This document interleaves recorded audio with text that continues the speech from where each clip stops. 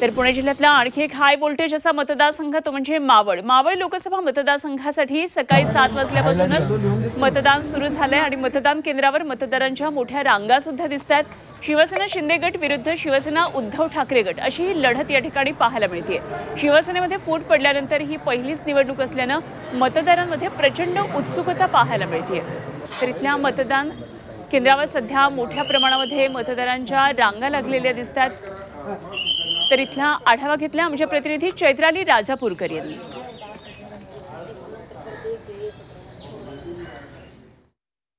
मावळ लोकसभा मतदारसंघातील मतदानाच्या प्रत्यक्ष प्रक्रिया जी आहे ती आज सुरू होत आहे. आतापासून मतदानाला सुरुवात झालेली आहे. मोठ्या संख्येने मतदार जे आहेत ते सकाळीच आपल्या मतदानाचा हक्क बजावण्यासाठी जात असल्याचं आपल्याला पाहायला मिळत आहे.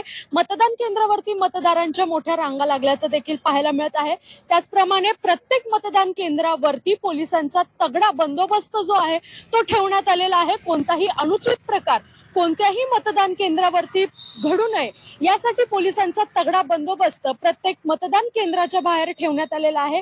सकाळी सकाळीच अनेक मतदार जे आहेत ते या ठिकाणी मतदानाचा हक्क बजावण्यासाठी येत असल्याचं आपल्याला पाहायला मिळत आहे. त्यामुळे एकंदरीतच पाहिलं तर पहिल्या सत्रामध्येच मतदारांनी मतदान केंद्रावरती मोठी गर्दी केली आहे चैत्राली राजापूरकर झी मीडिया मावळ.